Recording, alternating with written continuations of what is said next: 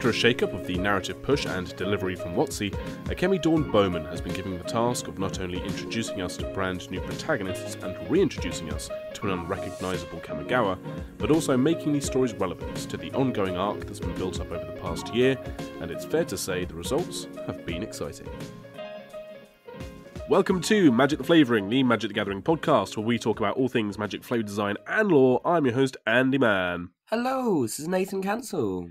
And today we are going to be talking about the Kamigawa Neon Dynasty story. This is our story review episode for Kamigawa, uh, and we're releasing it uh, kind of early, I guess you would sort of say. But they've they've done the story. They did the story before they released the cards. So you're you're right. They did three days of intense storyline.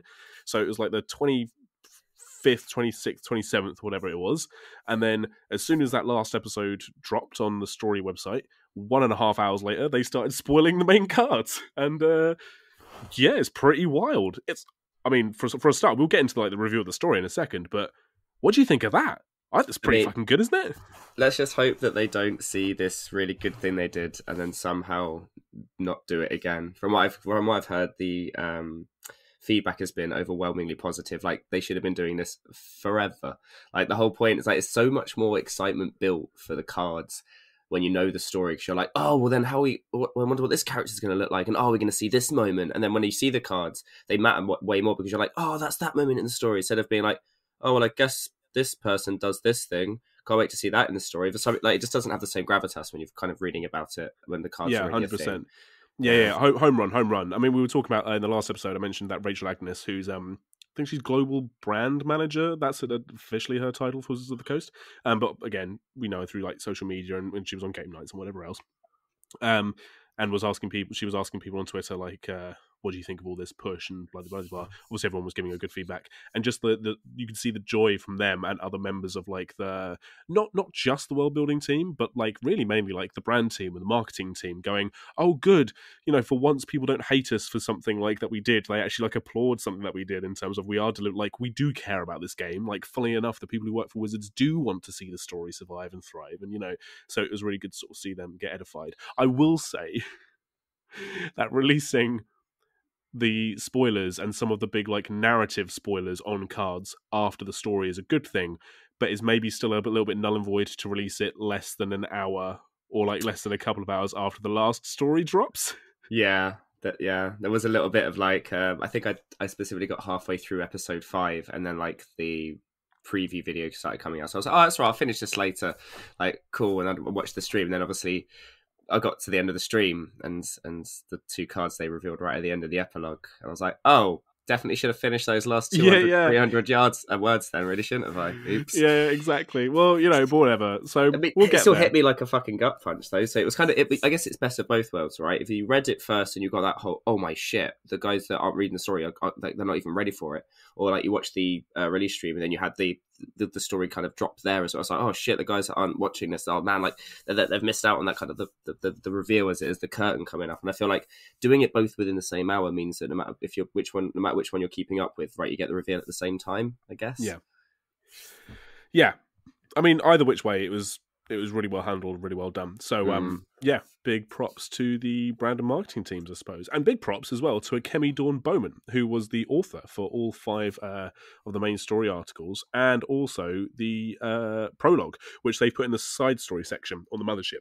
So there are effectively there are effectively six episodes because mm. usually what they've been doing is they've been doing four to five main uh, story episodes, and then they'll do four to five side stories. And then the side stories will maybe sometimes intersect with the main story, but not always, or they might tell different things, and blah, blah, blah, blah, blah. This time around, they essentially did episodes one to five. Here's the bulk of your story. But a few months ago, or like if sorry about a month ago sorry they released kaito's origin story kaito being the planeswalker protagonist that we follow through the main bulk of the story and as much as we were just talking about it before we hit record that you could read episodes one to five without having read the epilogue. It is essentially just like episode zero. Like, so you might as well read it as part of the large narrative to get like a fuller backstory, and also just to kind of ease you back into Kamigawa. Because as much as as it's a kind of a reboot for Kamigawa, it it still isn't a total reboot. So I think it is nice to have like you know this kind of thing to ease everyone in at the same pace. People who have, you know, liked Kamigawa since they started playing the game, like yourself, or people who have no idea what Kamigawa is because we haven't been there in like fucking, you know, eight years or whatever it is. So I think, yeah, six stories total, I think. And that's we will be doing all all six of these like little stories as well. I mean, what what do you think of them doing like a separate epilogue or a separate sorry prologue rather than separate side stories? Do you miss not having the side stories because it doesn't look like we'll get them? I'd, I'd, be surprised if we didn't get side stories because they, they can release those after the cards have been released, right? Because it kind of even works with you give us a bunch of legendaries, and then it's kind of like, oh, that is really cool. I wonder if we're going to see a side story from them, and then they happen to go, well, yeah, we actually gave you another four different legendaries as well as this like kind of concise. Yeah, I mean, I mean, maybe have they, has there been confirmation or not that it's going to be other? Well, no, stories? not in either way. Sorry, that was an assumption made by me because not only do we have the side story, the which is the prologue, but obviously they've also included another section, uh, which is saga stories, which are like little mini. As we said before, vignettes. they're almost like little lore blitzes, vignettes, exactly five, six hundred words on each of the saga cards, which kind of bridge the gap. Um, so I just, I kind of wonder if this is our lot. But I mean, having said that, makes it sound like we're not getting much at all. Um, as people who will be seeing the little timestamp of how long this episode is, I mean, we haven't planned how long this episode episode's going to be. I'm going to tell you now, it's probably going to be hitting the 90 minute mark pretty comfortably, if not longer, because whereas uh, Kay Arsenault Rivera for uh, Crimson Bound Midnight Hunt was able to tell those stories in a really nice, simple, the gang go here, then they go there, and then that's the story, and had like a really low to the ground, like just one or two beats, but like packing a lot in their story. It's, it's all in the castle. Yeah, it's all in the castle. Half Crimson just Vows like, are all in the castle. One location. Then, there you go. Yeah, Midnight Hunt is they go to the festival. Oh, we need to go to get the key. Oh, we got the key. Back to the festival, and like yeah, all just five one stories quick are fetch quest, right? Yeah, one, yeah, yeah. one quick fetch quest. That was Yeah, it. In and out, quick and, twenty minute and adventure. everything was like fairly simple, and that worked to its benefit as well. Uh, this story is huge, yeah, and for like for something that does not feature the Gatewatch in any capacity whatsoever. This is a story. I'm going to say this again for anyone who's like jumping for joy. This is a story without the Gatewatch in it. Thank fuck. So much happens, and so many people's like different characters' motivations and mm-hmm. narratives and mini arcs. And histories as well, man. There's like History? This is, it's picking up from the stories from fucking 10, 15 years ago that you wouldn't have even expected. They're like, yeah, but this is all canonized. We had this. This is all planned. It all kind of fits in this timeline. Which yeah, what is it? is it. Agents of Artifice? That's the one that they're Yeah, bringing on from. Yeah, Exactly. yeah, yeah. Yeah, yeah. Exactly. Cool. Right. So we've buried the lead long enough. Um, I'm going to do my uh, patented uh, 10 minute story breakdown. Although, God, I don't think I'm going to be able to break this down to 10 minutes. Um, I'm, I just listener, please appreciate the fact that I've tried to condense this down into something that's manageable. Uh, also, if you haven't already uh, been able to tell, I have got a bit of a cold. Um, so if I do sort of trip up or go a little bit um, nasally, nasally, I'm trying not to be gross. if I go a little bit nasally, you want to start talking about your glottis, right? Your epiglottis. oh, good, and we got there. You want- there Um, then I do apologise. Um, but here we go. Okay, so Kamigawa, Neon Dynasty Dynasty. Prologue. Uh, we enter on Kaito, a teenage ninja from the plane of Kamigawa, who, uh, as a child, was taken in by the Imperials of Eiganjo and is close friends with the Emperor, who has been missing for about a year at this point in the prologue. Uh, he has devoted his time to finding out what happened to her and to finding a man that he describes as having a metal arm, which he saw the night of the Emperor's disappearance. Uh, Kaito has found themselves working for a group called the Reckoners, who are an underworld gang in Kamigawa, uh, and gains leads uh, from the Reckoners to kind of further his quest to find the Emperor.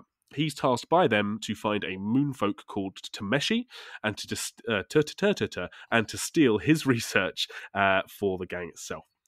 Kaito infiltrates the Jukai forest, home of the Kami, to find Tameshi, uh, and along the way meets his sister Aiko, who is a Kami diplomat for the Imperials. Uh, she helps him find the mark because they are in the Kami forest. They eventually find Tameshi, who reveals his work uh, is to fuse the Kami with drones, which are like little animal uh, mechs uh, used by the denizens of Kamigawa. Uh, he does this to better understand the Kami because there is uh, an idea that Kamigawa will eventually merge the spirit and the mortal realm, and Tameshi wants uh, Kamigawa to be as prepared as possible using technology for this eventual uh, reckoning. Uh, the kami Tameshi is most interested in is a Tanuki spirit, uh, who Aiko recognizes as the same kami present when the Emperor disappeared, something that she never told uh, Kaito when uh, he asked her about what happened during the Emperor's disappearance. Uh, it is concluded that the technology that uh, is making is too easily weaponized, but before any plans can be made as to what to do with this uh, technology, the group is attacked both by hostile kami in the forest and the Reckoners who have been tracking Kaito. Uh, after a brief con- uh, conflict, the Tanuki kami, who is known as Himoto, and Kaito form a strong bond, and the kami fuses with the Tanuki drone uh, Tameshi made specifically for Himoto, and Himoto becomes Kaito's companion. Himoto is revealed to be also the Kami of the Spark, and uh, although it's not explicitly kind of expanded on too much in the story, is essentially the the kind of representation on Kamigawa of what happens when a spark ignites. Because every facet of uh, Kamigawan culture has its own Kami, so sparks igniting have their own Kami, and it is Himoto who is now uh, Kaito's little Tanuki Buddy, which is pretty cool. And you see them on their card as well. Um, it is also implied in the uh, sort of closing parts of this prologue that the Emperor is also uh, in the multiverse somewhere. So there's this idea that maybe the Emperor has a spark that ignited as well, although that's not explicitly stated in the prologue. Uh, we then enter into episode one. So episode one opens about a decade earlier than the uh, prologue. Uh, so this is when Kaito and uh, Aiko are about maybe sort of like eight or seven years old uh, and they are growing up in the Imperial Palace, taken in as orphans. Kaito, not wanting to start the path of a samurai, which is kind of his chosen path or his uh, guided path by his elders, is charged with being the sparring partner of the child emperor, as he possesses strong fighting abilities, as does the emperor, it seems, when they spar. Uh, over the years, because the story then uh, progresses forwards uh, year by year, uh, through their training sessions and also secret conversations, we see Kaito and the emperor become very firm friends, although he never learns the emperor's name. We also see Kaito's interest in technology being stoked as he meets a futurist diplomat, uh, the futurists being one of the many sort of like factions in modern Kamigawa who want to explore technology for scientific research. Uh, the futurist diplomat arrives at the palace of the Imperials and is a moonfolk who would also go on to mentor uh, Kaito's now friend Tameshi, who we originally met in the prologue. Uh, we jump to the night, then we do another few years jump to the night that the uh, Emperor disappears, and we have Kaito finding the man with the metal arm inside the chamber of Kyodai. Uh, Kyodai is the kami of basically all of Kamigawa. It's like Kamigawa's like spirit, like kami, who uh, also has a very strong bond with the Emperor because that's their form and function. Uh, there's uh, some business going on with the Emperor and Kyodai and the Man with the Metal Arm that isn't expanded on here, but the Imperials eventually blame the Futurists when they take Kaito's description of the Man with the Metal Arm to be one of the Futurists. So they think the Futurists are trying to attack and disrupt the Emperor. Kaito disagrees with this, uh, and after a painful exchange with uh, his guardian, a uh, kitsune called Lightpaws, Kaito departs the palace to search for the Emperor. Uh, in episode two, we jump a further decade forwards in time. So this is now modern day. Uh, uh, so this is a decade after the Emperor's disappearance. Kaito is now an experienced planeswalker uh, because we see that at the end of the prologue, the Tanuki that uh, befriended Kaito Himoto uh, transformed into a mask, and when Kaito put this mask on his face, his own spark ignited. So we now see that a de- decade later, uh, Kaito is now an experienced planeswalker, and he comes back to Kamigawa to meet Aiko, his sister, who informs him that she has intel that Tameshi, the moonfolk that they befriended during their prologue adventure, uh, has been working with a man described as having a metal arm. Kaito, to seek the truth, follows Tameshi to his lab in the uh, moonfolk capital of Otawara and discovers blueprints for a strange device, which is described as a, a chip with squid like legs. Uh, Kaito then follows Tameshi to a meeting that Kaito believes uh, is going to be with the man with metal arm, but we actually see Tameshi's meeting is with a large metal monster, quote unquote, who we as readers immediately recognize as the Phyrexian creator Jin Gitaxias, uh, who I'm going to refer to now as Jin, because saying Jin Gitaxias about 50 times is not good news for me. Uh, so, Jin then kills Tameshi uh, in the meeting, and when Kaito confronts Jin uh, and his dying friend, Tameshi utters the name Tezzeret. So we now know that the man with the metal arm is Tezzeret. Tezzeret and Jin Gitaxias have been working together on some nefarious plan in Kamigawa. Dun dun dun. Uh, Kaito then follows uh, the name Tezzeret to a Nezumi, or rat folk village, which he knows was burned down by Tezzeret several years earlier. There are some references in this uh, little bit of the story in episode 3 to Agents of Artifice. There's also a little reference, a teeny weeny blink and you'll miss it reference to Nicol Bolas, because there was a dragon that came to bargain with the Nezumi for Tezzeret's life, because Tezzeret got knocked out during this encounter on Kamigawa pretty fucking cool. Uh, and we find out that uh, the only witness to the fire's cause is a young Nezumi called Nashi.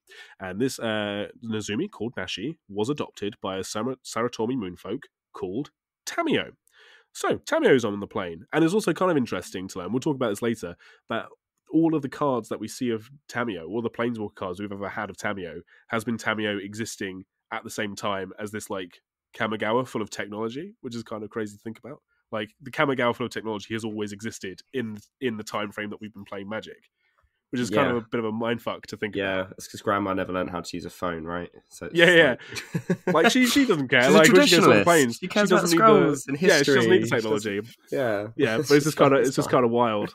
Um, cool. Yeah. Uh, Kaito meets with the planeswalker Tamiyo, and after a discussion with Tamiyo, reveals that not only does uh, she know that Tameshi's chip is known as the reality chip, but that the planeswalker known as the Wanderer, who Tamiyo met during the course of War of the Spark, is in fact the Lost Emperor. So it's confirmed that the Emperor has also had a spark that was ignited the night of her disappearance, and has been the Wanderer all along. Shock big uh, Face. Yeah, right. I mean, pretty cool. Like we'll talk about the Emperor specifically, obviously, a little bit later in this episode. But like, I'm I'm loving it. I'm loving all the little ties. Mhm. They're bringing it Yeah. back in. It's all good. Um, Tezzeret had tried to test the reality chip on Kyodai and the Emperor the night of the Emperor's disappearance, uh, because the Emperor is spiritually linked to uh, Kyoda. Uh, their spark ignited, but the uh, experiment was the thing that left the Emperor's uh, spark unstable. So the very nature of the Emperor not being able to stay in any one given place is because of Ter- Tezzeret's meddling with Kyodai, and it's all kind of linked in. The kind of you know the way that Kamigawa links all this kind of stuff in with like spirituality and the soul and all that kind of thing. Uh, Kaito goes back to the lab where he found the blueprints uh, for the chip and steals the chip, uh, but with uh, but not with being. Con- but not without being confronted by Jin Gitaxias and a bunch of ninja mercenaries. Uh, after escaping, Kaito is about to be caught by a dragon mech uh, when he is saved at the last moment by the Wanderer herself. So the Wanderer has now returned to Kamigawa. Episode 4, uh, Tamiyo uses the stolen reality chip to partially stabilize the Wanderer's spark. Uh, after forming a battle plan, Tamiyo and Kaito go back to the lab to destroy Jin's research. And whilst the whilst the Wanderer stays at Eiganjo to fend off an impending rebellion against a revolutionary group uh, known as the Uprisers. So if you have the Futurists, who are the kind of group that want to use technology to further science, and you have the Reckoners, who are like the criminal underworld, who are using technology for their own means or for their own survival, I should say. You have the kind of uh, third faction, which are the Uprisers, who are trying to stop the Imperials, who are like the ruling class, from uh, controlling them with technology. The Uprisers are also like um, mainly red faction as well, which is uh, pretty cool. Like, like. Factions. Lots Welcome of to- factions Welcome to different Faction factions. well, yeah, different to factions that we had in original Kamigawa as well. It's all kind of mixed together, which is really nice. Like it's Mhm. not just the same old thing. Uh, Tamiyo and Kaito find that the Kami that were the subject of Jin's experiments, because when Kaito first went to the lab, there was a bunch of uh, Kami all hooked up to machines. Uh, they've all been destroyed uh, or killed, depending on how you want to look at it. Uh, and uh, Tamiyo and Kaito are ambushed by Tezzeret and Jin, the two of whom do their big villain reveal that the experiments on the Kami were really just pre-tests for experimenting on planeswalkers. Although we still, at this point in the episode in the story, don't quite know what those experiments are for. But what we know is that the Kami were just a testing ground for whatever they were about to do to planeswalkers. Uh, Kaito and Tamiyo are saved by the Wanderer eventually, who decides to planeswalk directly into the lab, uh, not content staying behind at the palace. And as the Wanderer planeswalks into the lab, she then lands a sword blow across Jin Gitaxias. So she literally goes, whoop, hey boys, smash. Like, fucking cuts Jin Gitaxias in half. Like, so cool. So badass. Like, oh, Such a boss. fucking Wanderer is great. Um, episode 5, escaping from the lab with a paralyzed Tezzeret, paralyzed because of one of Tamiyo's uh, scrolls that's uh, holding a spell over uh, Tezzeret. The group arrive back at Eiganjo uh, to fight off the uprisers, uh, and at this point, Tamiyo is also in possession of the reality chip because they hypothesize that the reality chip can augment uh, Planeswalker's abilities. So Tamiyo wants to use their flying and uh, telepathic abilities to be augmented with the reality chip to make it easier to carry Tezzeret around lots of moving parts going on by episode by episode five. Uh, the Wanderer then intends to take Tezzeret to Kyodai for judgment and to potentially repair both their bond and her spark because she figures that if he broke it, he can fix it. Uh, the group crash land into Eiganjo on the back of a mech that they find in Otawara, literally just falling through the sky on the back of this broken down mech. Um, and when Kaito comes to, he and Tamiyo find Tezzeret chasing after the Wanderer through the battlefield. After a battle between Tamiyo and Tezzeret and Kaito, Tezzeret is almost beaten, uh, but he is able to control Tamiyo through the reality chip because the reality chip is still technology, and he kidnaps her and escapes through his own inbuilt planar portal. Because if people didn't remember, not only can he planeswalk because he is a planeswalker, but he also has the fucking planar portal in his belly or wherever he keeps it. So he's just like a one man planar portal dude, right? I mean, yeah, as long as it's in, as long as it's inorganic, he can take it. You can take it. Like it's kind of. I mean, that's also like because I read that sentence just a little know. aside, Set and I kept being like, right? well, because I was like, why does he need to? Did he planeswalk or did he use the portal? And then in my head, I was thinking, oh no, of course he used the portal because he wouldn't be able to take other people planeswalking, like even other Also the chip. planeswalkers.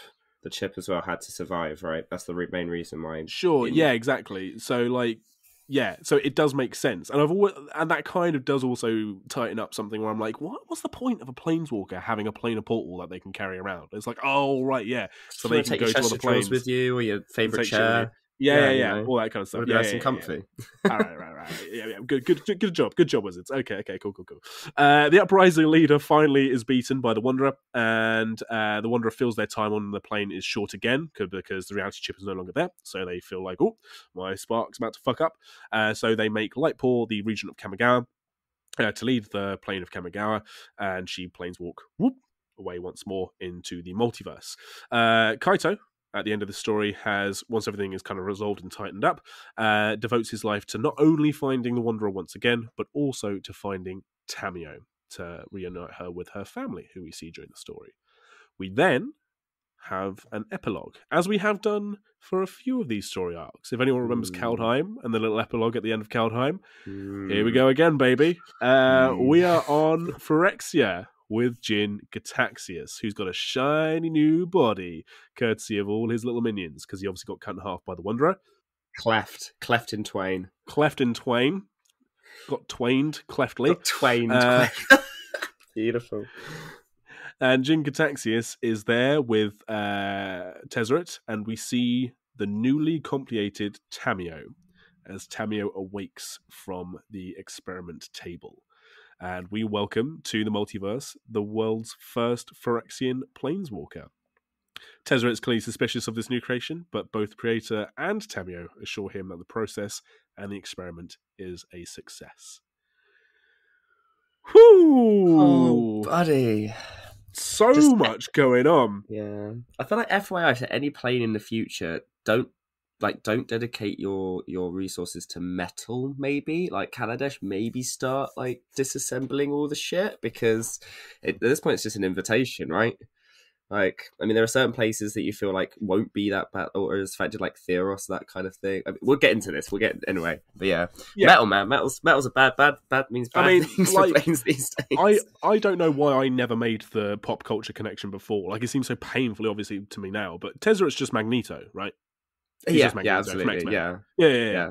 Like you have like Oh, Wolverine, and they always have Oh, that thing in the films where Wolverine jumps at him with his claws, and then Magneto like flips around. It's like, aha, I caught you midair, and it's like, well, of course you fucking did. You made of metal. Um, yeah, you cool. dingus. so, firstly, um, I'm just going to straight up say, like, I absolutely loved this story arc from start to finish. What a fucking ride this whole thing was, and like, yeah, just just absolutely fantastic. Uh, the author, Akemi Dawn Bowman, um, I mean, I, I don't think they play Magic like uh, Rivera did. I don't know, but they fucking they they get it. They absolutely get it. They get the stakes of the characters. They get what people care about when we're looking at like Magic story.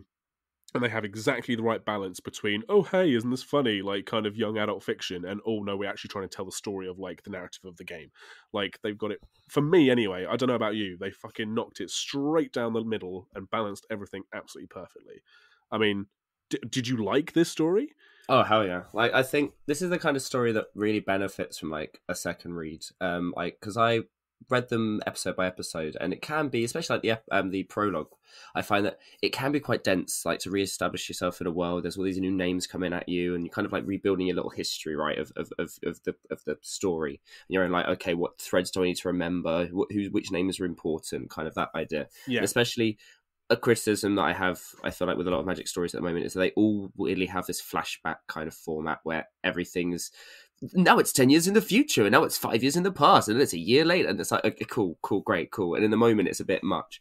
Having reread the entire story today from front to back having already read it once it's much more easy to digest and you because you know what's going to be what's already going to go Sure. already happen in the future it makes the things that have happened in the past kind of feel a bit like more like oh okay that's the payoff to this.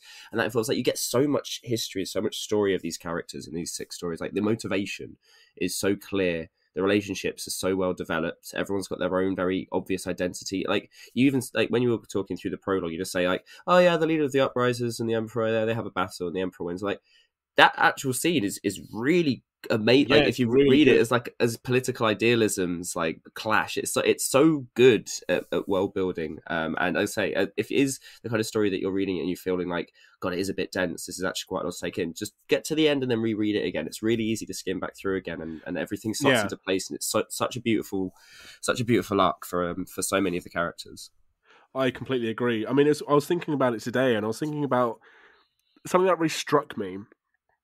And I know I said it earlier about like, oh, this is a story with no gatewatch, and ha ha ha, and there's the meme of like, oh, we're sick of the gatewatch on this podcast, and bloody blah blah blah. But in, in all seriousness, what hit me today when I was thinking about these stories was how we were following predominantly characters that we'd never met before, and I was so invested in their journey.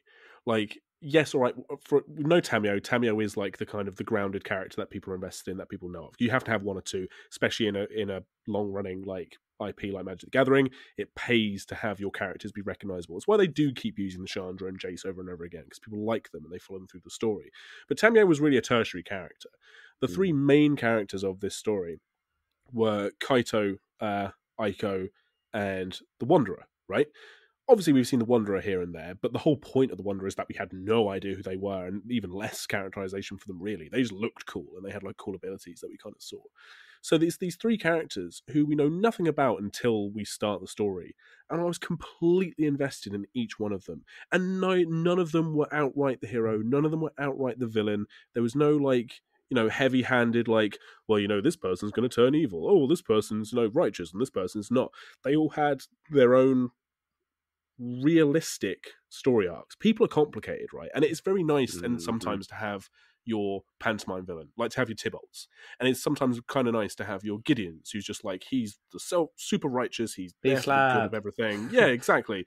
Yeah. But it's also nice to have characters that have moments of going through all these different things especially in like situations where you're trying to fight for your life every five seconds whilst trying to rediscover your like decades long childhood friend that got taken away in the night by mm-hmm. mystic forces and you've fallen out with your sister and you've fallen out with your mentor and you've got a bunch of like mechanized gangsters running after you and oh my god there's a giant metal monster from beyond the stars who's here to kill us all and all these fucking like kami running around the place. Like it's quite a stressful situation. And i just yeah i just i just loved how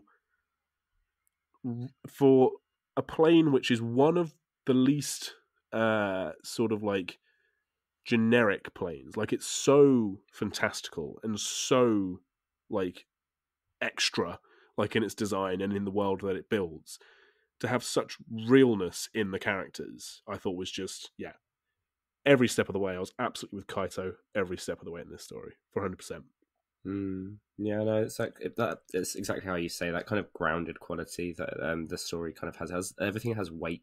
Everything feels like it matters. Um, like the your the decisions, like they, they the way that Kaito is, for example, like character representations are so consistent. Like the amount of times that Kaito fucks up by just being Kaito, but not in a way that you blame him, in a way that you're like, no. well, of course that's what Kaito does. Because even in these five stories, you've only I've only known him for five minutes, and I already understand that this is the kind of thing. It, this is, of course, the way he's going to react. And no, I'm not going to get annoyed because that's just what Kaito does. And you, mm. there are so many moments of brevity for his character throughout the story. Of where I've, I've highlighted a few, and we'll get into it when we start, you know, case studying the characters a little bit. But he is such a positive representation of blue black mm. which is hmm. really interesting because we do we have a blue black protagonist and and, and it's very well executed and at no point mm-hmm. does he feel duplicitous or sinister or feel like again it's like um Kamigawa, Kamigawa does this a lot like um Umezawa was was a mono, mono black protagonist uh, from before and we don't actually get too many of them like even Liliana's dressed up to be almost like that that foil to to the to the damsel in distress kind of kind of feeling, right? And mm-hmm. she plays against a lot of those typical stereotypes where Kaito doesn't feel stereotypical. He actually just feels typical. He's relatable yeah. as well as being accented, and he's down to earth, even though what he does and how he acts is also quite admirable. Um, yeah, it's, it's it's really really really well well handled, and you get this for a lot of the characters. And I think that's something that is also low key a benefit of having protagonists that, for a change, are native to the plane and are telling mm. a story that matters for the plane. And I'm not saying this is better. So a lot of what I'm going to say about like this story I'm not saying that this way is how I would want to see it for every magic story. What I'm saying is, is that it's nice that we have it for this magic story. And what I mean by that is, is that there are so many different combinations. When you're dealing with magic as an IP and you're trying to tell the story of a plane, whether it's one that you're returning to like time again or one that you're starting off with, there's a few different ways uh, that we've sort of seen and kind of almost like um, tropes that magic writers have used to kind of explore the plane. You either have your extra planar planeswalker who comes onto the new plane, and then we as the audience discover this new plane through their eyes. So we saw this in Kaldheim is the most recent example I can think of where we were with Kaya. Kaya's not from Kaldheim, so she's figuring out as we're going along, and then she bumps into a couple of the natives, whether they're planeswalkers or just regular people or whatever, and they kind of go, "Oh, we're going to go to this place, and this is what this place does," and their planeswalker goes, "Oh, that's funny. That's like how I did this other thing," and like we figure it out with them as we go. The other thing that we do is we'll follow maybe just a, a, central protagonist that is from the plane, but then we'll have like a, a, tertiary character that is kind of our little voice. For example, in the Sundered Bond, when we're following Lukka throughout the whole story, who I mean that Lukka's is their own thing because they're a protagonist that turns him into an antagonist, which is his own cool little spin. But we have Lukka as the the, the eyes that we're following through, but we also then have Vivien, who's in mm. the background asking the questions that we that want mentor asked. kind of character right almost that kind of the the supplement to the to yeah the yeah. yeah like they're there for us right? Yeah. And there are all these and there's a hundred different combinations and those are like the big two but then then there's combinations between whether you have like native villains or extra planar vi- villains and how that affects things and all this stuff going on. And I think whereas this where we did have native uh, planeswalkers as our protagonists in the um, Innistrad stories we also had a lot of the Gatewatch kind of doing their thing. And the stories were kind of like very simple. And because Innistrad as a plane is so uh, I'm trying to say it without saying the word boring, but it's so. Well, it's not new, it, right? It's so That's recognizable. Well, yeah, like no one isn't. no one's not going to know. Yeah, no one's not going to know how a gothic horror plane works, right? It's mm. just, especially for Western culture, it's just intrinsic. It's just like, yep, vampires, werewolves, whatever else. We don't need to learn about this plane any more than we already know about it.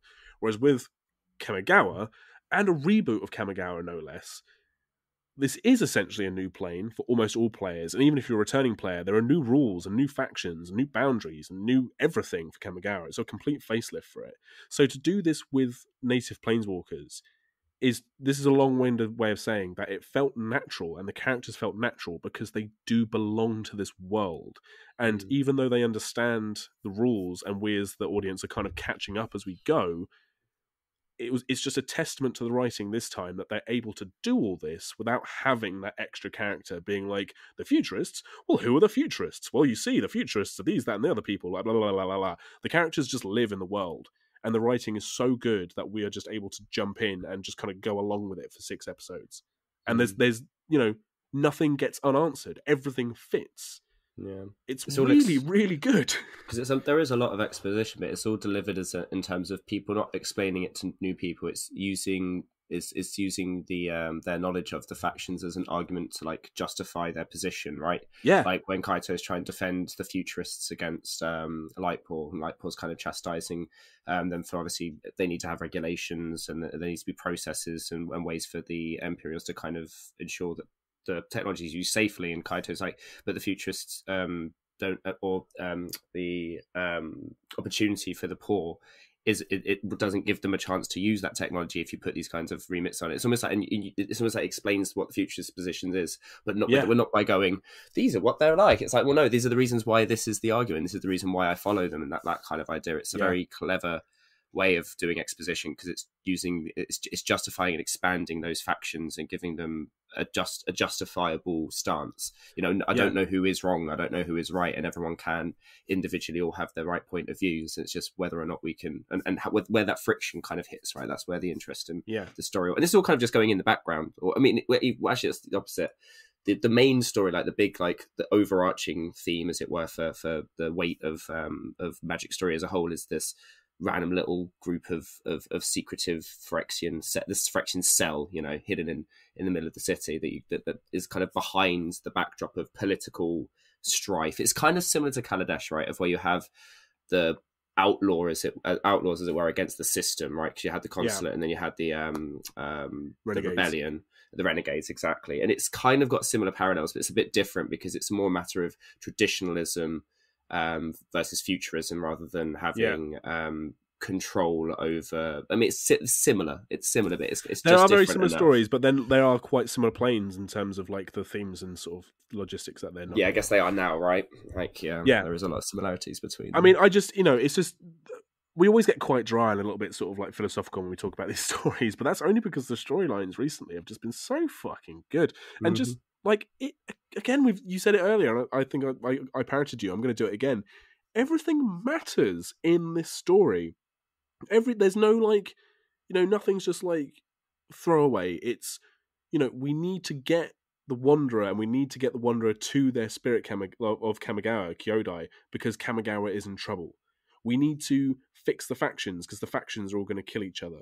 Kaito needs to find the Emperor because the Emperor is his only friend. And like, you know, it's everything like actually has a purpose. And it's not just mm. and it's all it's all so relatable in little microcosms that it doesn't just feel like too big. Like this isn't just the Gatewatch going like, well, if we don't stop the dragon god, the multiverse will explode. And you're like, what? What does what does that even mean? Like, what yeah. how how can you even fathom those concepts? This is a story about like, well, we can't leave Tamiyo behind because not only do we not trust that big metal motherfucker, we've also like met her family and we like them. So can we please go and get Tamiyo back? Like, you know, it's mm-hmm. it's it's you know everything matters to on a personal level. You have the the character of Tameshi. So Tameshi is the Moonfolk who kind of gets I think gets a little bit lost in the story because the story's quite big, but they're quite important to start with. Tameshi is the Moonfolk who Kaito uh, has to find for the Reckoners in the prologue, and after sort of like having a bit of debate about the philosophies of weaponizing technology or whether it's for the benefit of Kamigawa or against it, blah blah blah blah blah. Uh, Tameshi and Kaito become friends, but they don't become friends. And then Tameshi goes, "Well, I guess I'll never use technology again." Like they have their own motivation, and then mm. so that hmm. we find ten years later in like later stories that Tameshi has been working with Tezzeret.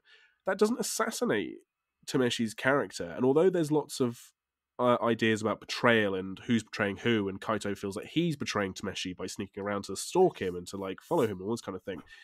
You know, this is really a story about one friend and another friend having political differences. Ideologies and that, right? and yeah ideologies. And does that trump a friendship? Because they are mm-hmm. clearly friends. Like everyone has a friend who they think oh yeah like you know that's paul. That's my mate paul. He's a dickhead like, but we love him because he's, you know, he's Paul. do you know what I mean? And like, but when you're when you're dealing with like these big ideological sort of rifts, and obviously, like in our real world, everything is so divisive and politically charged nowadays. So I guess we can't really relate because we we tend to expunge people who have different ideas to us, both rightly or wrongly. Like that's a whole other debate. Um, like the the last thing that Kaito and Tameshi they have their little interaction. Kaito needs the information from Tameshi, but you in the story he's regretting the fact that he has to interrogate his dying friend. You know, mm. it all matters.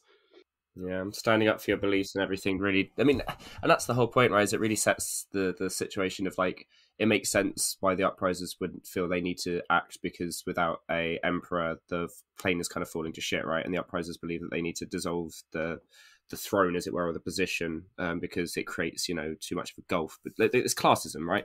It's classism, and and, and also uh, that idea that factionism. I think it's very apt for the current world that we live in, where everything, as you say, yeah. is very divisive, and it's really nice for everything to be undercut with uh, a want of understanding, right? Because Aiko and Kaito uh, essentially are two sides of the coin, with uh, Aiko being an imperialist who's trying to strengthen the bonds between the kami uh, and and the humans, because obviously there's in the background as well, like there's the spirits versus the humans, right? That's not really a thing in this set as much because it was already the focus of the entire block of the original Kamigawa block, you know, mm. the hmm. spirit world versus the the human world, even though that was all a misunderstanding as well. Like it's always some weird shit going on in the background that's actually important, but it gets it causes massive wars and, and, and issues, right? But she's someone who's trying to strengthen Kami, Kami bonds and, and, and, the relationship between the two, whilst you've got Kaito, who beyond, I guess the one thing I'd say about Kaito is beyond his want and need uh, to find the um, Emperor, just wants fair his I guess his motivation is very similar to Tameshi's, right? Right, he just wants there to be a fair access, right, for every, mm-hmm. to, to, for, of technology,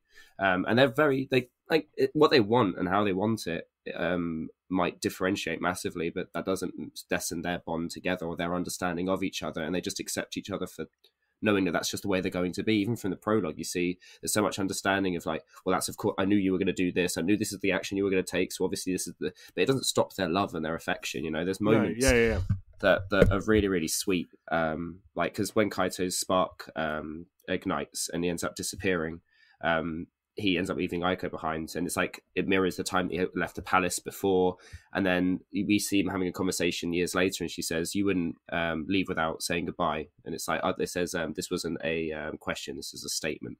You know, yeah. and this is understanding that they still have that you can still be really strongly, closely bonded to people and still have differing ideologies, even if because they're all working towards the same idea, right? Or at least they should be. They should be. Yeah, yeah. Well, there's there isn't there's a really good uh, balance struck by Bowman here, where they never make the Imperials out to be evil in any way. Like, regardless of how you feel, like personally, listener at home or me and Nathan here, how we feel about ruling bodies and the idea of classism and being uh, blind to the imbalance in society if you are at a certain rung on the ladder, as it were. The, Lightpaw, who is the kind of uh, the mouthpiece, I guess, for the Imperials throughout the story, the, mentor of, of Kaito and Aiko, you never ever get a sense that Lightpaw is evil or malicious or mm. or even like um, ignorant. They are aware of the problems that are going on in Kamigawa, and they are trying the best in the way that they think is best to dish out technology. What they don't want to happen is that unregulated, untested, and therefore dangerous technology ends up in the hands of the populace and the masses, therefore causing more problems than it solves. That's their whole thing, whilst mm. also trying to balance the tradition and the history of the Kami, who are still like sentient beings on the plane of Kamigawa.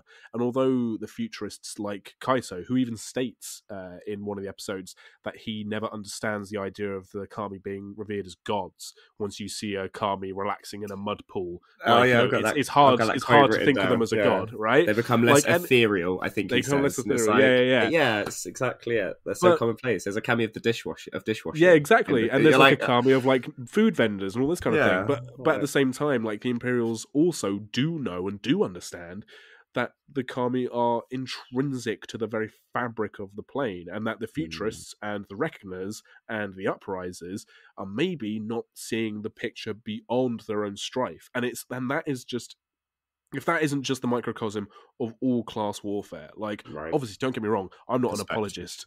Yeah, I'm not an apologist for ruling classes. I mean, fuck it, I'm from the fucking UK. Do you know what I mean? Like, if we know anything about class, like you know, we are a country that knows about class and class divide.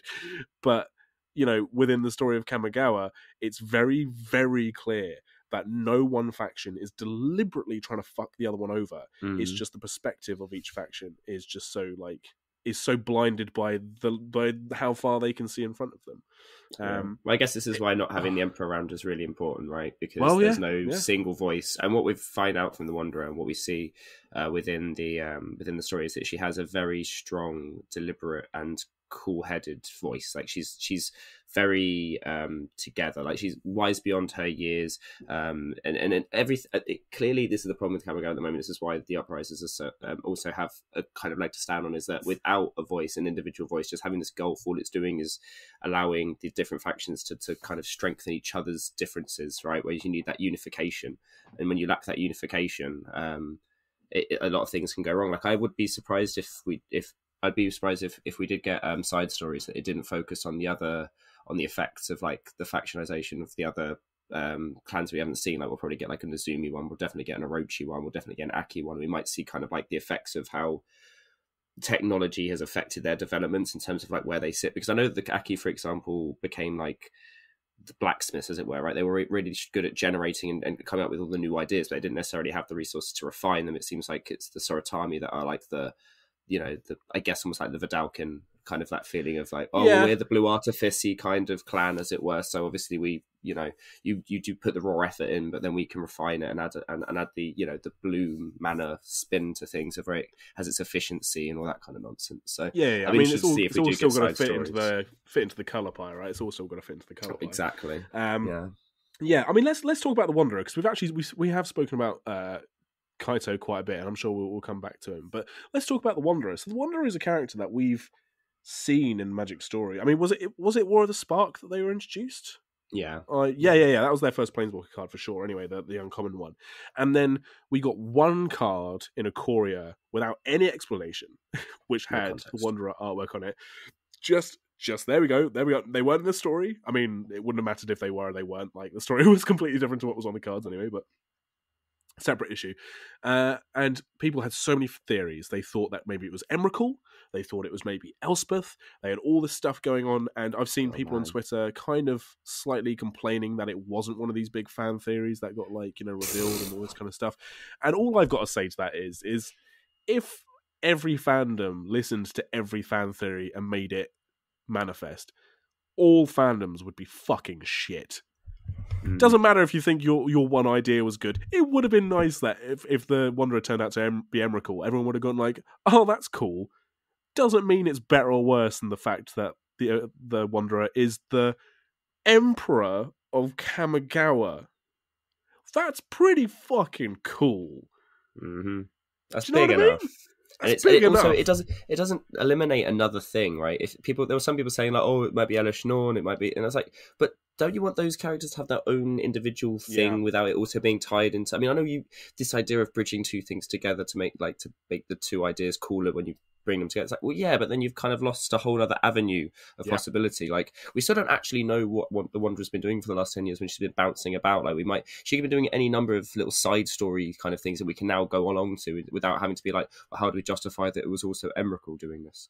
You know, and also you can have your like Emrakul story still, you can have your cake and eat it, right? By the end of the story, we find out that, you know, Tamiyo's got all these like, you know, mm, these, these scrolls and all this, and she's yep. kept her memory and she knows about she knows about Emrakul. So yeah, um, you know that kind of idea, right? So I mean, I don't think as much as I love I love a fan theory. I'm a massive. You know, I mean, if you didn't know this by now, I'm a, a big fan of the. But you leaks, you the also tend to get theorists. you two do tend to get story beats pretty correct though. Like you were one of the very first people I ever like saw that just went, oh yeah, it's Emrakul like with Shadows over Innistrad, and I was like, "What?" And he said, "Oh, it's it's going to be Emrakul, and then this is going to happen, and that's going to happen." And that was months before I saw anyone else on Reddit, and I think you were one of like maybe like a hundred people on like the internet saying this, and then it all got caught up. I was like, "Oh, fucking hell!" Like you are pretty good at doing this kind of thing, much better than yeah. I am. Anyway. Well, I read a lot of people's opinions, and a lot of them are stupid, and some of them make sense, and they're the ones that I'm like, "Okay, this seems to make more sense if this happens." it's like a collab, it's collaboration. You can work it out eventually. Sure. You're a good refiner. You're you're very you're very yeah, about it. it. Yeah,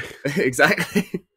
uh, but I mean, okay, right. So, um, Wanderer in general. One thing I will say is that it was really nice to almost like reverse engineer her story, right? Of where, okay, yeah, she's just a normal person, but you get a little bit of her of her without getting a point of view of it's not her point of view that expands to your knowledge of her it's the point of view from other people right? So you get to see sure. um kind of almost she's still veiled for most of the story right? She's veiled behind uh-huh. the screen door she's speaking with kaito. She's still quite reserved when they even meet face to face. There's only like a few breaks. She still has an air of mystery about her but from what you get from her she's you know you get this idea of strength and loyalty and a real like she's um, what's the word I'm going to look? For, um, I'm looking for um, reliable. There's something really like reliable and like wholesome about. It. And now we've lost one really wholesome, reliable character like Tamiyo. That whenever you see him in a story, you go, "Oh, okay, it's going to be, it might be okay." Like as you say, the Wanderer bounced in, slashed the shit out of uh, Jin Gitaxias without breaking a beat. Like this, this, this, she's great. Like she's fantastic. Tamiyo, I mean, apart, like, go ahead.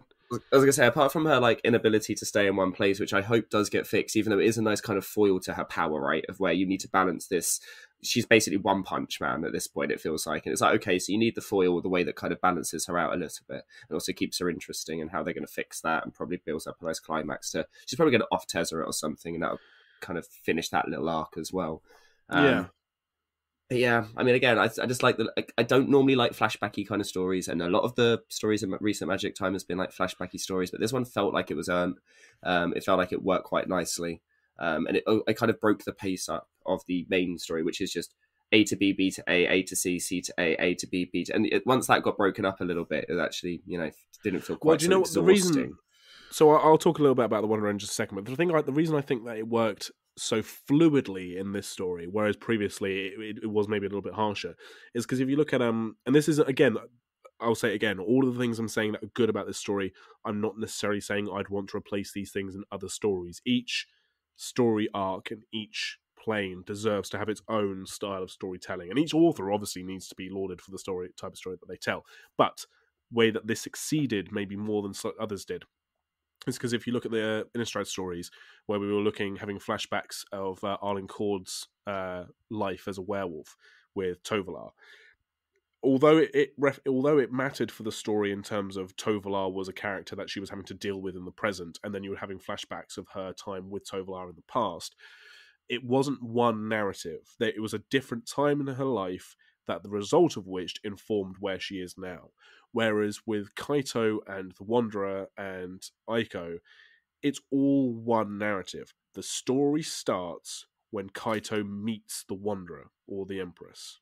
Do you know what I mean? That's when mm. his story starts, and hers essentially. They form a friendship, she disappears. He spends all that time trying to find her, and then she comes back, and like the events of the present day story unfolds. But it's all one narrative. It's the story of these two friends, and so jumping backwards and forwards, like in either within episodes or between episodes, where we start off one episode ten years before or after the previous one started or ended. It doesn't feel like we're kind of going, oh, why are we seeing this random ass memory about him being upset with his friend about something? That doesn't really reference what's going on now it is one story, and we're just telling it in a non-linear way, which is a which is a technique as old as storytelling. You know. Yeah, yeah. I guess also you're trying to link in a lot of different like parts of history, right? Because there is a few different things that have that have that have happened at different point. Like, because I guess that was the thing that I thought was a bit tricky was um the where put that put Tezzeret if it was ten years ago that he was doing the original prototype. And I, at first I thought it, it felt a little bit ham fisted the way that Tezzeret kind of slotted in. And by the end of the story, I ended up kind of really turning around and being like, actually, this is a really nice way to tie everything in together. And as much as I said, I don't like it when you put two really interesting things in the pot together. Sometimes you need that coalescence to kind of make everything have a bit, as I say, a bit more weight and a bit more um, validity. And it's quite nice that we're able to kind of also swing in this idea that Tezzeret probably had this idea right from New Phyrexia, right?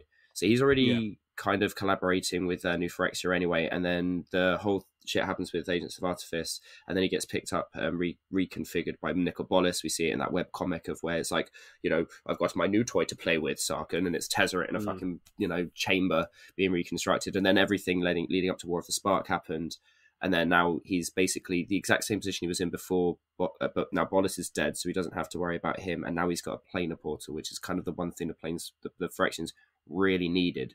And I kind of like now that you kind of feel like in the back there was always this progression, right? There was always this stuff going on and always working, and the fact that none of the main story, apart from a little bit of um, uh, uh in Kaldheim, like apart from that little bit where she battles him a little bit, like Vorinclex otherwise could have got got away with being involved in that story completely with no one knowing anything about it, and sure. that was kind of nice for the first one. Ever it was like, oh, okay, then what are they doing? Why are they here? And then they took the Tyrite, and now they didn't explain how Jin Gitaxias is is on Kamigawa. We just have to kind of assume that well, it, Vorinclex was kind of on Kaldheim, and he kind of got the Tyrite elixir, and that and the, obviously that's all about like how the gods can change between realms. So maybe that's how they well we how do Jin the... can come over here. In the epilogue of the Kaldheim stories, we do have Tezzeret there. We just don't. It's not stated that it's Tezzeret. It's it's alluded to that Tezzeret's in league with the Phyrexians, which I think is something we kind of gloss over in this story and haven't mentioned because it was just if you have It's if you have any given, knowledge, right? it's just like it's a given. It's Tezzeret. It's fine. Okay. Yeah. But it's just it's nice to see that this idea of Phyrexianized planeswalkers. I mean, talk about fan theories that have paid off. Like for ages, not only us but lots of other people have been saying, well, the Phyrexians are going to be trying to do their own little gatewatch. They want planeswalkers. Nicol Bolas wanted planeswalkers. They're like they're the hot shit. If you want to rule the multiverse, you've got to have these mages who can bounce around and do all kinds of crap. So what have we not seen yet? We've not seen a dark gatewatch. Or well, that's what the Phyrexians are doing, and that's exactly what they're doing. Mhm. There was that little hint of it in uh in Kaldheim again when in the Tibalt story in episode three of that of that arc where he talks about having the seed of Phyrexia being planted. yeah, and we don't know for sure if that's been just made inert, if it's still there, whether it can still be activated. Another I mean, experiment. well, quite, yeah. right? We're not sure. So, I mean, this is the other thing, right? Is that compleated is a keyworded ability. Mm. Is that means it's going to be on other planeswalkers? This is We're gonna have a Tibalt be- planes. We're gonna have a Tibalt Phyrexian planeswalker Yeah. easily. Um, That's there's definitely a nice, cool theory about Calix because he's a planeswalker designed uh, to to chase planeswalkers and find planeswalkers. Sure. So Oh, that's like the white black one, and then people. Uh, if there's there's there's a shit. There's shit Well, would he be would he be white black or would he retain being white green? Well, I think the idea is he would stay. They keep the colors right now because Phyrexia is all colors, right? That's the idea now, right? Yeah. I mean, okay, red faction kind of like peeled off a little bit, but for all intents and purposes, Elesh is kind of at the, at the top. Then it's blue and green, and then black kind of a little bit behind them because Sheoldred again don't really know exactly what's happened with her. Um, but the the view we, and the message we seem to get from Phyrexia is about solidarity, right? So it's one of these ideas that. I think they would just allow the colours to remain and give kind of. I think the new the, the new Phyrexia needs to be all, all of the colours, but I mean, yeah, Yeah. I, I like this idea of we're probably over the next couple of years going to see, as you say, this build up of the, the dark, the dark watch, as it were. Um, I think this all going to key up to Elesh Norn becoming an, a, a, becoming a Phyrexian Planeswalker Praetor. Like I think that's kind of where it's likely to go if if Yeah. cliche kind of story arcs go. Because I mean, other than that, I don't really know what other White Walkers you can do.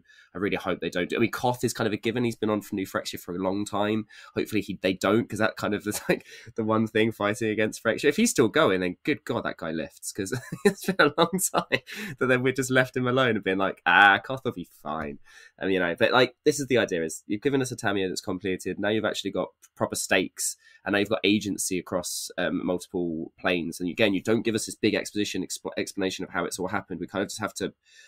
It's not even that we have to assume everything's going to be okay. We just need to know and understand now that everything is not okay. Nothing is Well, safe. do you know? what? So there was a lot of discourse uh, when the stories dropped of people um, who. This is such a classic Magic player thing, and I, I don't think this was necessarily malicious whinging, but it was definitely whinging to a degree of people being like, "No, what have they done to Tamiyo? It's kind of unnecessarily cruel, don't you think? We get to see her family, and then they make her compleated. Like, oh my god, like, give it a rest, wizards. Like, and I just sort of think, no, no, no, no, no. You need to show that the Phyrexians are hard fucking bastards. And what better Mhm. way than to have a fan favorite planeswalker who we finally get to meet their family with a cute adopted rat son to boot, who is then at the end of the story like Phyrexianized, and not just like completed like at the end of the story. The language used to describe Tamiyo's uh, Phyrexian thought, thought process is not it's not something like she's robotic and evil. Like her Mm. inner monologue is exactly the same as when she was regular Tamiyo. She It's describes so about how she would do she would do anything for her family. She loves her family, and she would Mhm. do like anything to see them succeed. Phyrexia is now her family, and she would do anything to see them succeed. Just And full you're like, Don yeah, Toretto. Yeah, Just full Fast and Furious. It's Yeah. all about family now, bitches. And the fact that this, the thing she goes, she looks at the scroll she said she would never use, and then and then and then goes, but she would do anything for Phyrexia. It's like, oh for fuck, oh my god, they're yeah, really not those playing around iron-bound here. scrolls that she didn't even Yeah. want to use against Emrakul, and now she's like, "Oh well, I guess I've got that Phyrexian." Uh, Well, if I had to, yeah, fuck Yeah. it, why not? If I had to, for the sake of Phyrexia. What's in those like- fucking scrolls, man? What's Mhm. in the scroll? What's in the scroll? What's a scroll? And it's so it is just so unnerving. Yeah, that there's doesn't there was no resistance, right? What the only way they kind of put it, and this is really good. We haven't really kind of spoken about this specifically, but the language, the language using these stories is amazing. It's such a joy to read. Like it's it's got such a nice quality to it. Mhm. Um, and it says right at the end, um, um, the line, uh, uh, uh, God, one second. Um, that she. Where are you? Epilogue. There we go. Uh, Tamiyo's eyes fluttered at the sound of Jin Gitaxias's voice. She sat up, processing the shapes around her. It wasn't the first time she'd been awake in the laboratory, but it was the first time that it felt familiar. It's like, oh, you've come round like time and time again, probably in Yeah. absolute agony and distress. Yeah. It doesn't even go into any of it. It's the same kind of thing with the Essica, uh, like, the Essica epilogue um, in Kaldheim. I was like, this is like kind of the most like horror-y magic site kind of felt in a long time of where it doesn't really explicitly state things it kind of just hints at it and like and, and the, the way they do it and the way they present the Phyrexians has been is it has had like significant like fear factor kind of They've kind all of been in the shadows. it. They've been in the Yeah. shadows, which is crazy for something that's like a whole nation of these extroverted, like death robots. Like, do you know what I mean? And they've all been in the fucking shadows. Because No we've known who they forever, are. for years, right? Because we've known, oh, you- new Phyrexia, we just left the plane being the new Phyrexia, and we're like, and then Riz is Uh-huh. like, we're just not going to put them in any of the stories for like four or five years. Well, this- this and all the authors are like losing their minds. It's like, oh no, no, they always have been. It's just, it's only now that you're starting to notice. It's only now that they're being bold enough to be able to be in the limelight. And if they're being bold enough to be in the limelight, you know you should be shitting your pants because that's not a good place to be. Well, this confirms exactly what we said about Kaya from the Innistrad stories. Remember at the very end of our story review for Innistrad, and indeed at the very end of those stories, we were questioning why what why wasn't Kaya grabbing Teferi by his beard, being like, the fucking Phyrexians were on Kaldheim. And it's like, because she doesn't know what a Phyrexian is. She, she just doesn't know. saw this big Vorinclex doesn't even look. Yeah, doesn't and he doesn't even look like made made of metal. So- he was a furry bony dude. Didn't even look we, at made out we metal. have Kaito like dropping in on Jin Gitaxias, and he doesn't go, "Holy fucking shit! You're one of those Phyrexians that all my Planeswalker buddies keep talking about." He's just like, "Oh, you're like a metal monster. That's kind of weird. What the fuck are you?" And like, like again, like I I've said on this uh, podcast many a time. And indeed, I've bored my friends, such as you, many a time when I've been drunk about how much I fucking hate dramatic irony in like storytelling, especially on TV, right? Like you're screaming at the screen, like that you know something important that the dumbass Mhm. protagonist is going, oh well i'm gonna trust my best friend who's so obviously the fucking serial killer or whatever the hell it is right but the dramatic irony used in this instance where the, the characters don't know something because it's so natural not to know something because the multiverse is literally infinite so if you're telling these big infinite stories you can have these villains that are huge at one point been out of existence for just long enough that they can resurge again. And that's why the Phyrexians are so dangerous. That's why they'll Mm. never be defeated unless it's with a concerted effort by, again, probably every known planeswalker. And then we'll have like War of the Spark round two.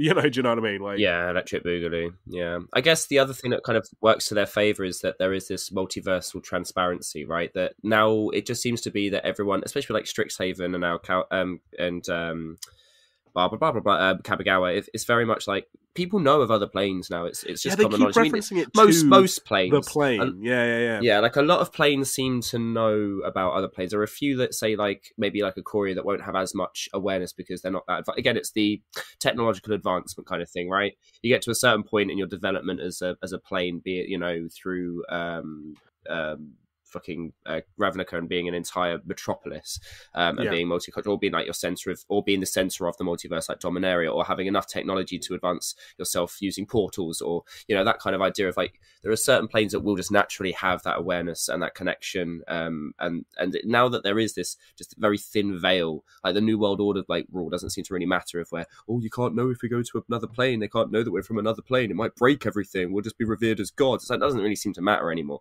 which kind of gives Phyrexians almost like an out because it's not as you say so bizarre when you see this monstrosity or monster like you see like well this guy's clearly from off world this guy's clearly from Yeah. off world he goes to Tamiyo's Yeah, place sees a picture in the back of a wall and goes oh you're a planeswalker then you know, it's like okay, cool. There is a little bit of like, well, both Kaito and the Wanderer were like friends as as kids, and they both turned out to be planeswalkers. And how how how many people have sparks these days? You know, apart from Well, that, I was little- I was really worried quip. that they were going to suggest that Kaito had a spark. And I was about to be like, ah, fucking hell, how many brother sister like spark teams do we need in the multiverse? Thankfully, they didn't do that, which I Yeah. think then made their relationship that much better. But also Mm. to kind of hook it back around to the Wanderer, because I kind of I, I got excited talking about Phyrexians, like when has anyone ever said that?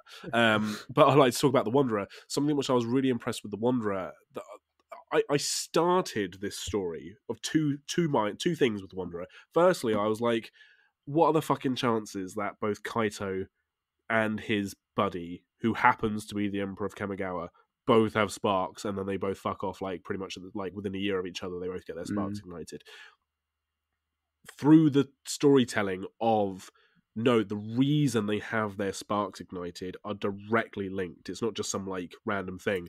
She has her spark ignited uh, not only just like because it was her time to, but because it was a forced thing by another more experienced planeswalker. So that's already like a fairly nice way to do it. Yeah, who probably didn't even know uh, that, that she that, that no, she was uh, a planeswalker. Kyodai- Yeah, yeah, yeah. yeah. There was no way he would have known that Kyodai was linked with an emperor who happened to have a spark. He just wanted Yeah. to go after the, the biggest kami. So that was already interesting enough. But the only reason that his spark gets ignited is because he comes into contact with the kami of the spark, who is only in existence because of the fact that Yeah. Emperor's spark ignited. Like it is, it's it That's is actually more enough. believable, right? It's much more more believable, believable. than oh, you happen to nearly die, and then you also happen to be a planeswalker. Or like, or like half the spark. fucking like yeah, half the like populace of Ravnica seem to have fucking latent sparks. You know, do you know what I mean? Yeah, we're all just knocking around with them. But so that was number one.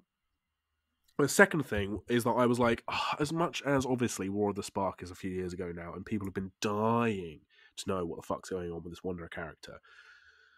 When they did the art reveal, for example, of the Planeswalker card for the Wanderer, and we saw her face, I was like, oh well, they've ruined it. Like that was the coolest thing about the Wanderer. like, and they've and that literal that like three centimeters of her head that we never saw covered by her cool hats. Like that was the coolest thing about her. Fucking rah rah rah rah. And actually, I'm totally wrong. Not only did they not reveal her name, not give away anything about her character, only gave her more mysterious background. She's actually leaving this story with more like uh mystique than she entered it because now we Hmm. know just enough about her to be like the, f- the fucking Wanderer is even more badass than we could have ever thought yeah. And now I want to know more. her spark's not fixed. We don't know her name, and the very intrinsic nature of the fact that uh, they say it in the story, the fact that she sparked when she was a child, as many planeswalkers do, but then had to live in the existence of only spending a random amount of time on any one plane and ban- binning around. Her actual like uh, persona and her actual personality is one of the Wanderer. It's not. It, she's not the Wanderer because we as the audience don't know who she is she barely fucking knows who she is because this Mm. is the only existence she's ever known. Like she is the wanderer. You can't change that by revealing her face or by being like, "Well, this is who she was." Like her as a character now has not been damaged at all, and that's an amazing thing to pull off. I feel. Mm, yeah, absolutely. It's almost felt, it's almost as like as um it's the opposite almost of um Sarkhan um oh Unbroken, right? If we almost like that he had that culmination moment. It's almost like the Wanderer can also have that in the future as well, right? Of that moment of where it's like whatever her name actually is, complete or whatever, you know, or the, the finally settled or the retired or whatever they want to fucking call call it to make it a funny pun. Um, but yeah, like there'll be a time I think that we'll see that her her coalesce, and then she'll be even stronger and more powerful than before, and it'll be like, oh, you know, like I like that idea of, of a trump, like a, a, a trump that, that kind of can can give a finality to a character that is, as you say, still got plenty to be interested about. Um, yeah. yeah, really cool. very cool. Can we There's also a- just there's a- say how Yeah, much on. more interesting? No, is, was that more about the Wanderer? Only, only. So there's my my favorite line in this whole story arc is uh it's where Kaito and the Wanderer finally get a moment to kind of talk to each other about the fact that Kaito's been bidding around the multiverse for the past decade to find her. And the Wanderer says, It's so funny. Uh I obviously heard about the Kamigawan Planeswalker looking for their lost emperor, so I knew you were out there looking for me, and at times I was only ever a step behind you.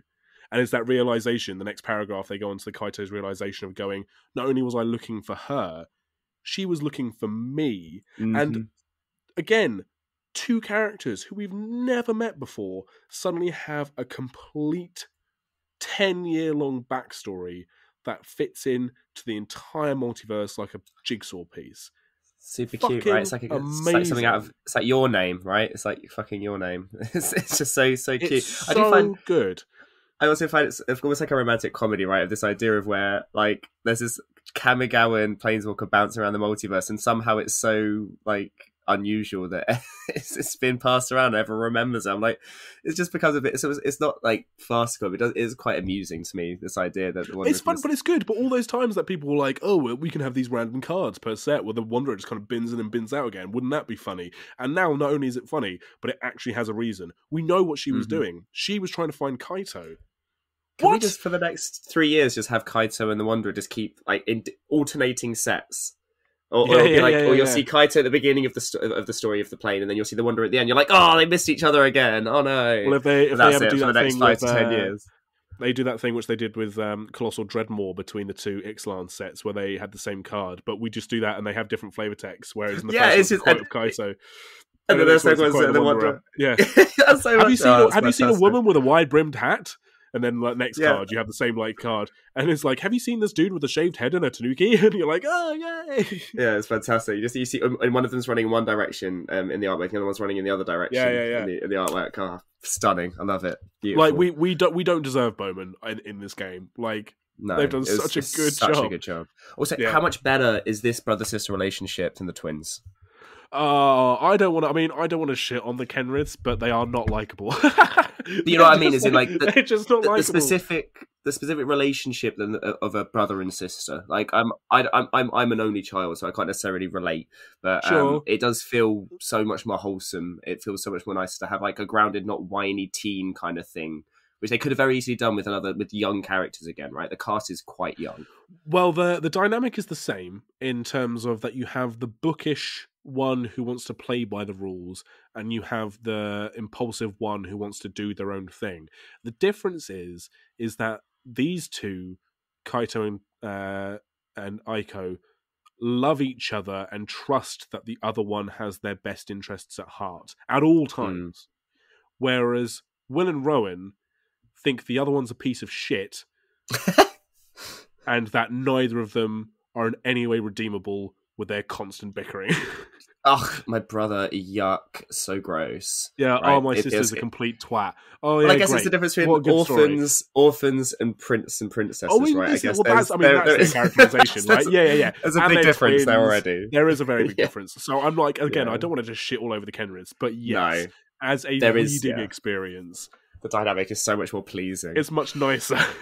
Yeah, it's much yeah. nicer to read about Taiko and and uh, Kaito and Aiko rather than Will and Rowan because Will and Rowan Mm. fucking suck, and they need to get the they need like Professor Onyx to like you know get them writing lines like I promise not to treat my sister like a dickhead. I promise not to treat my brother like a dickhead, and just do that for like hours and hours and hours. Um, yeah. yeah. Yeah. I think the other big thing as well is that the story managed to fin- end with a massive climax and big ramifications without destroying the plane. You know, like the plane Yes, is, isn't for once. fixed. There's nothing's nothing's nothing's like fixed. There's still like lots of unrest, right? And I feel like that's Yes. fine. That's prime to come back to again because we haven't we didn't see a lot of the the spirity side of it of Kamigawa. It was very much like kind of nestled within this kind of like f- the future. I mean, I guess we will see when the full set's released. We're in like 130 odd cards or something spoiled at this rate, so we haven't seen the full set. Um, and probably we will still get other stories. I'm hoping that we get at least a story of like you know that's outside of Iga- um, Eiganjo and a, a one that's um, in the Orochi. I wouldn't mind seeing another like a green ace sort of Yeah, we- story we to kind of didn't get see a bit anything more, of the Orochi. Mm. and we didn't Very see little of anything the of the- we got a little bit of Nezumi. No we didn't Oni. see any of the uh, Oni Akki.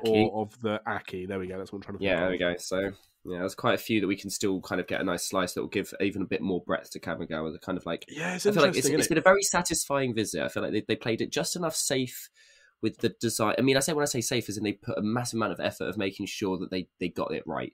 You know, there wasn't there's not a lot of rocking the boat here, um, from what I can see, and they're doing some weird things. You know, like the reality chip is a is a, a legendary artifact in creature jellyfish equipment.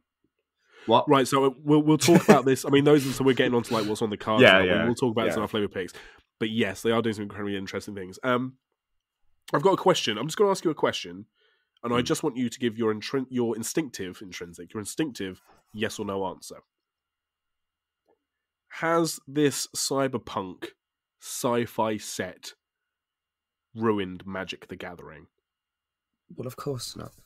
Well, then, But- can we all just shut the fuck Yeah, up and move on with our lives? this then? is the th- the biggest thing about these things, right? Is that even if it had, I mean, like again, not even if it had, like even if you really really don't like the specific st- and like specific swing i've seen pushback against a lot of things even little things like how the art, art style for the samurais and the um, ninjas is a bit too you know mangified and that kind of thing. I, mean, I get, I can understand why people don't have an aversion to specific art styles, even if it is an alternate art style. So the other art that you get in the set is already just normal Kamigawa.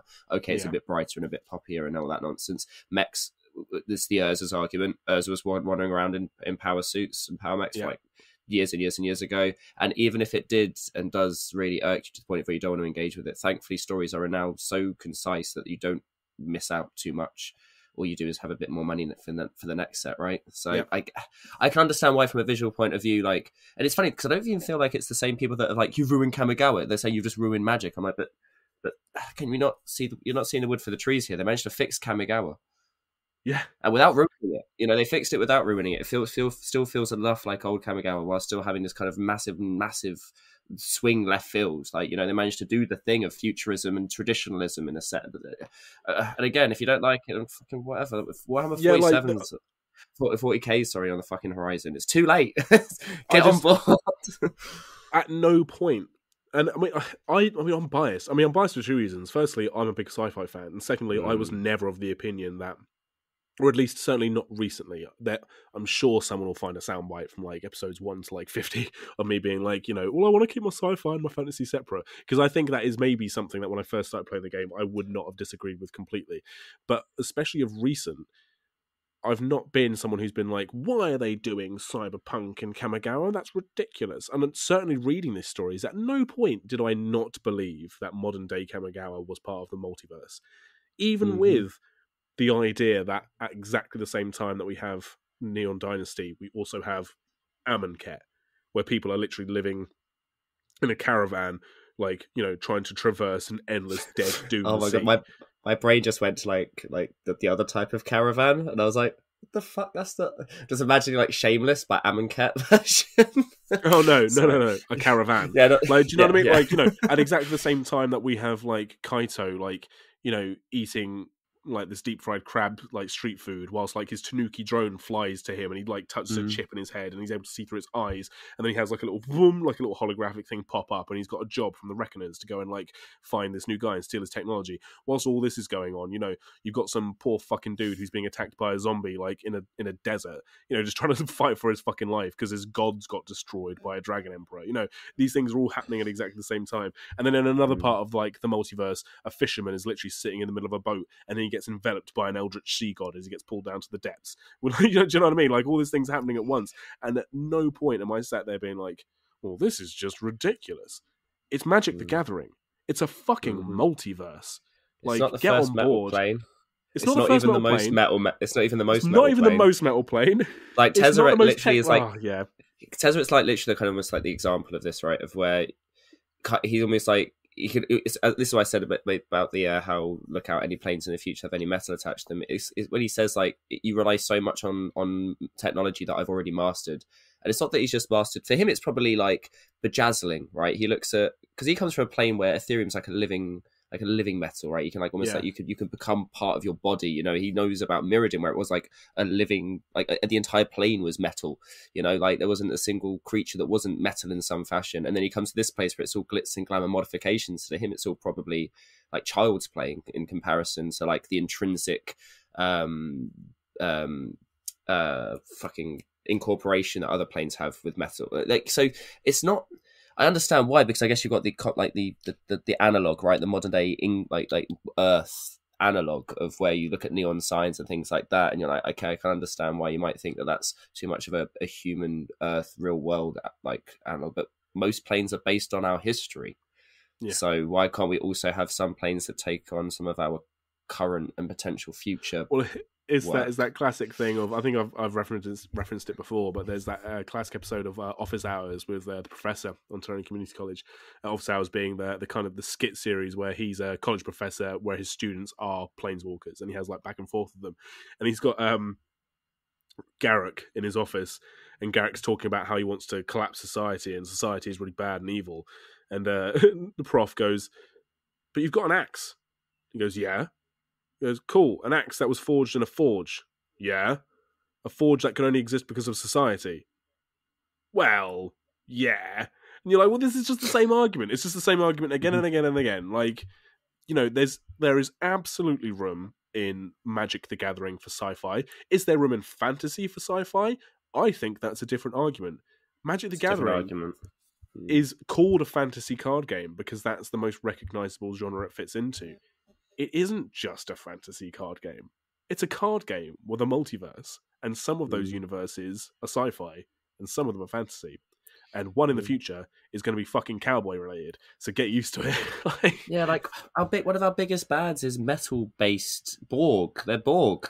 they're I- Borg. like well, we did it for like years and it was fine, and that didn't ruin Magic. That was like some of the best Magic. I mean, like don't get me wrong, as a, as a saga kind of ruined the game for a bit. That's fine. You know, like, like we've already done that before. We've already done the metal and the sci-fi and, and the body horror, and it's like, well, well, of course we could do it again, and we can do other things that also aren't like, yeah, yeah. I just don't see. I understand the distaste it, it could have even people's mouth, but I don't understand how it can make you, you boycott um, a game that's arguably offering too much. You know, there's too much in a year to engage with, and now it's almost they're going. You know what? We're not only going to make it way too much, we're going to make some of them undesirable, so you don't have to engage. So again, if you're just smacking your head against the wall, going, "Why don't I? Why can't I like this?" Then stop trying to like it, and then don't worry about that. It's not going to stop them making sets that you're going to like in the future. You know, if you don't like Neon Dynasty, you're going to really probably. Well, you're probably not going to like the Brothers War 'cause that's also mechs, but that's from like probably seven also, thousand you're years probably ago. also not going to Oh! like Nick Well, yeah, and at that point, do you even like Magic then? At that point, But then, but get, like, but if- like, like, do you remember the days like when we had like three set blocks, and some people were like, "I just don't really like Tarkir," and so they just didn't, yeah. They just didn't engage with the game for like They, did, they didn't nine get. They didn't get a year. They had to go do it like a year exactly. And we have like Yeah, had sets like. Eldraine, you know, and they've again with getting Kamigawa right. It kind of shows that even the planes that you really like that you think we might not see again, more more than likely going to go back again. Like if you don't, if you liked Lorwyn and you thought, well, I mean, Lorwyn's not going to work. They did. They fixed Kamigawa. If they fix Kamigawa, they can do anything.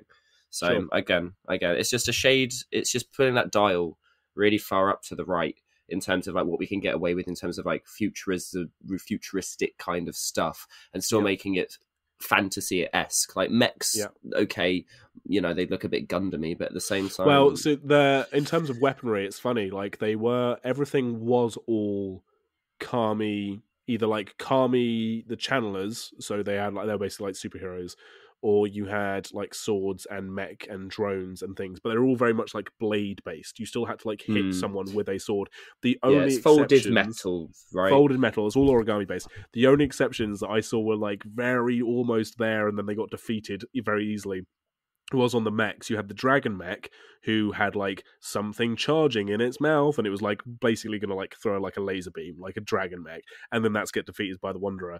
And then there was a like a, a lizard mech that was the one that they crash land into Eiganjo on in the fifth story that had quote unquote projectile based objects on its shoulders, and you're like, oh, Mhm. missiles. So it had rocket launchers, but they just didn't quite say that in the story, and they were never used, and they were very easily defeated anyway. So like, yeah, it's funny how they did have them there, but they're just swords are just as, as effective as laser beams, guys. Like it's fine. If anything, I think laser beams are more magic than guns are. Um, sorry, well, for sure, and they swords are, have had like- laser beams in the past as well. So yeah, like the whole point of like reg- regular technology is bits of metal wel- welded together. Like that's so much more like less fantasy than like lasers and that kind of thing. That's like the magic-y side. Like, I mean, I think this is a really good example of like why the arcade, why Arcane did so well because it did this fusion of kind of like old school, new school, right? Of where where does magic and technology kind of really not quite? And maybe this is why it would be really good if now that we know Kamigawa is successful, and I feel like for the most part it will be successful unless the limited format or, or standard format ends up being an absolute mess. Is that they can then now go back and do the next set there of a real investigation of how this technology works and how they can then delve in and go, look, most people didn't like the fact we did something sciencey, right? And we go, right, well, let's go back and reinforce how it's actually the kamis that are fueling this and that interaction between, because that's the big, another big thing that never got fixed is we didn't solve any Uh, any of the underlying issues between the mortals and the kami. And this keep this this thing about the merge gates being on the horizon kind of shows that there is a big foreshadowing potential story to come back to of, of how that that this was a problem this technology and they could then still retcon the technology out of the plane again if they needed to. But they might as well try these things because i feel like it creates opportunity not only artistically but also thematically. And if it works it works. If people really don't like it don't respond to it fine. But i feel like as a set it pops really well and I feel like a lot of the cards and the, and the art styles they're using are going to be massively lauded by some people. And again, if you don't like them, just stick with the normal artwork, which seems to be, for the most part, no less egregious than Kaladesh. No, I don't exactly. remember that having too much issue beyond you know energy being a mechanic. That's a mechanical thing, not a story or a design thing. I feel like Yeah, we got sure. away with that, so we should be able to get away with this. Cool. Well, I think that's gonna kind of do it for us then, because we're we've started moving away from the story and are just kind of almost talking about the f- cards and the flavor because they have started being spoiled and we have been seeing them, uh, and I'm really excited to talk about them. And I'm really excited to talk about them now in a space where we already know the story and already know the world because now we can be like because Mhm. although although to be honest to be like full disclosure we never really recorded our story apps or our um, flavor pick apps without there being some crossover. Like we usually had read a few stories or knew the world building when we did our flavor picks episodes. So we could accurately be like well we feel like these cards are good and these cards are not good for the flavor whatever. But i think in terms of us being excited and invested in the idea of what some of these mechanics are going to be and in some of like the artwork especially like some of it in a mm. vacuum seems very like oh okay maybe this doesn't actually look like magic but having read the stories and being like oh no fucking get over yourself this is about as magic as it comes we can now look at the cards and be like hell yeah i love this artwork and this art style give me the guy with the fucking flaming mech suit who's like doing dj turntables like yeah fucking hell that's magic the gathering I you forgot know that's going to be a card. Oh yeah. Shit, that's gonna be I mean, that is a little bit extra, but it, it works. it works extra. now. It works Yeah. now. I understand who it is and why they're doing it. Um, and it will be interesting to see the legendary creatures as well if they do do all of legendary creatures from the story, which they might not. It is yet to be seen how close the story is to the cards, but we're just seeing it from the other side now. So there we go. Um, Yeah. Cool. All right. Well, listeners, let us know what you thought of uh, the Kamigawa Neon Dynasty story. Let us know what you thought as well of uh, Akemi Dawn Bowman, uh, who I believe is a relatively new addition to the uh, Magic the Gathering story uh, team. Uh, as I can see, yep, yep, they've only ever done the Kamigawa stories, so there we go. Um, let us know if you enjoyed the story, who your favourite characters were. Uh, let us know if you thought it was worth giving uh, Kaito uh, telekinesis as a power, as it was Oh, referenced. funny, yeah. Three times. Why? Why also, yeah. It's just, and he, he never justified it. Weird, it was just like, oh, also I've got telekinesis, and you're like, yeah, yeah, yeah. it's fine, fuck All it, right. whatever, Yeah. sure. Fine. God, everyone, everyone can just throw things with their minds these days. Tamiyo, oh, you're telepathic, yeah, fuck it, whatever. Everyone Yeah, can have whatever. everything. Kamigawa. Magic. Uh, let, let us know. Let us know via our Twitter at MT Flavoring. Emails go to mtflavoring at gmail.com. Oh, my cold is really getting into my nose now. Uh, my personal Twitter is at Andy Mannface. Nathan's. Yours is. At the fox in the moon.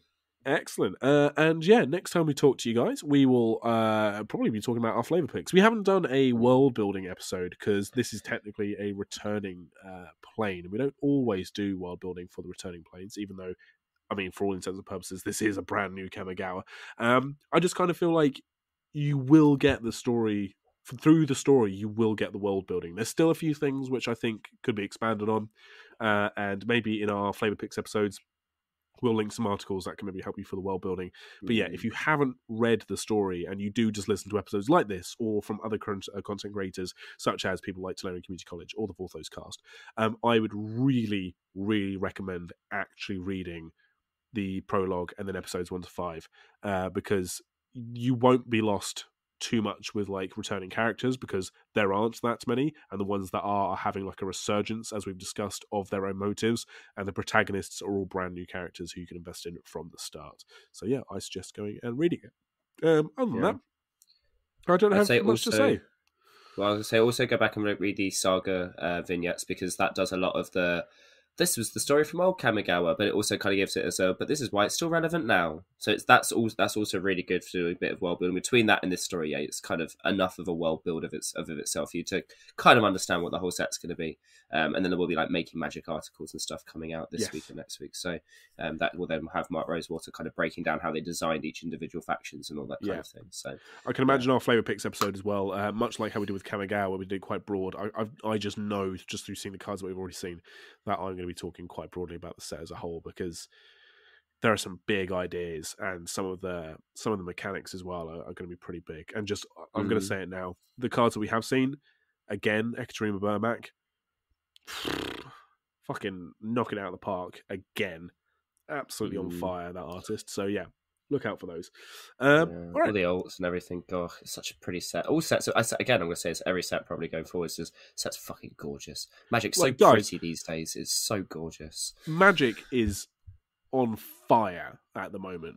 Like I know, I know. Believe me, we were doing this podcast in the very fucking thick of the bad times. Okay, we know as a podcast how bad the story got and how bad and money grabby a lot of the card design got there for a while.